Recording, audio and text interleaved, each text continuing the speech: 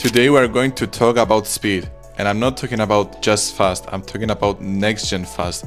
This right here is a Crucial P510 and Gen 5 NVMe M.2 SSD that can hit read speeds up to 11,000 megabytes per second. That's not a typo, 11,000. That's nearly double the speed of using Gen 4 drives.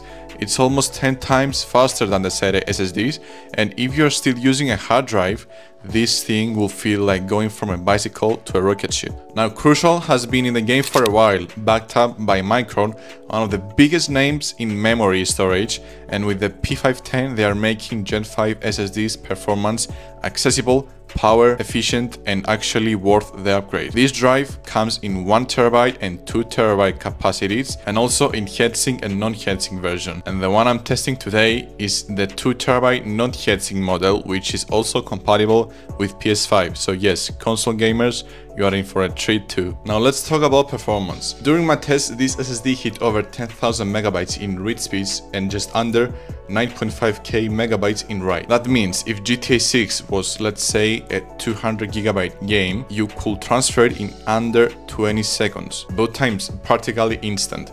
Game loading done before you blink and for content creators like me, the benefits are even crazier. Whenever I import 4K footage, scrubbing timelines, exporting large projects or running after Effects with massive files, this SSD handles everything without breaking a sweat. If I multitask with large files, there's no lag, no hiccups and just raw performance. What really impressed me though is how cool and power efficient this SSD runs. Crucial says it consumes nearly 25 less power of their previous Gen 5 SSDs, and in real usage I could actually feel the difference. My system stayed cooler under load and the P510 didn't throttle even during extended benchmarks and exports. And that's a huge win if you are building a compact rig, running a laptop or just want better thermals overall. Installation is super simple, it's just a single-sided design, which means it's slimmer, easier to fit into tight spots whenever you are upgrading a desktop, a laptop or even your PS5 if you got the heatsink version. And speaking of PS5, I did a quick test on my brother's PlayStation,